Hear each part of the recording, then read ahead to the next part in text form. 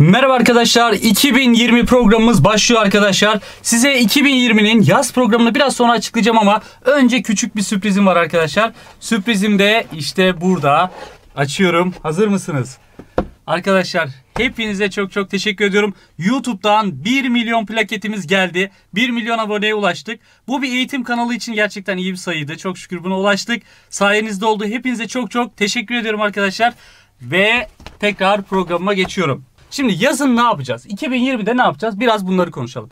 Arkadaşlar 22 Temmuz'da bizim temel işlem yeteneğiyle derslerimiz başlıyor. Daha sonra 100 soruluk ödevimiz olacak. 29 Temmuz'da sayı kümeleri ve ödevi.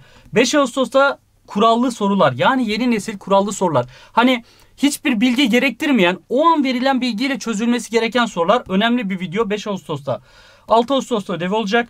12 Ağustos tek çift sayılar. Sonra ödevi 19 Ağustos'ta pozitif negatif sayılar ve ödevi 26 Ağustos'ta da ardışık sayılar ve 27 Ağustos'ta ödev olacak. Böylece 2 aylık yaz kampını yapmış olacağız arkadaşlar.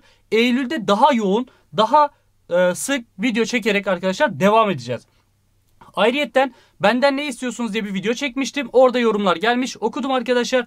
Bir, pdf istiyorsunuz. Videoların altında artık o derslerin pdf'i olacak. Yani onları indirip yazıcıdan çıktı alıp derse öyle gelebilirsiniz. Ha yazıcıdan çıktı alma imkanınız yoksa bir tane Şenol Hoca defteri yapıyorsunuz arkadaşlar. O defteri benimle beraber her şeyi yazıyorsunuz. Yani derse kağıtla kalemle gelin lütfen tamam. İkincisi bol bol soru istemişsiniz. Gelecek. Zor soru isteyenler var. Zor soru çözümleri de olacak arkadaşlar. Ve yeni nesil soru istiyorlar. Zaten arkadaşlar bütün program boyunca sorularımız yeni nesil olacak. Yeni nesil soru örneklerini bol bol göstereceğim. Sizden istediğim şey bu şu. Benim yayınladığım programı takip ederek dersleri izleyin. Mutlaka yazarak çalışın arkadaşlar. 2020'ye canavar gibi bomba gibi beraber hazırlanacağız. Tekrardan teşekkür ediyorum. Videolarda görüşürüz.